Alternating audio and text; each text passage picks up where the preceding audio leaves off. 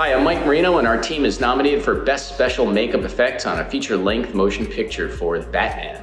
I want to give a big thank you to my whole crew at Prosthetic Renaissance, many artists involved, uh, in particular Mike Fontaine, Art Sakamoto, Göran Lundström, and everybody that helped bring the movie uh, to fruition. Thanks everyone and good luck.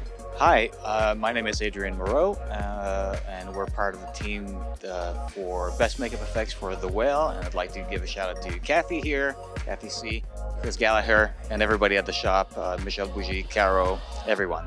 Thanks.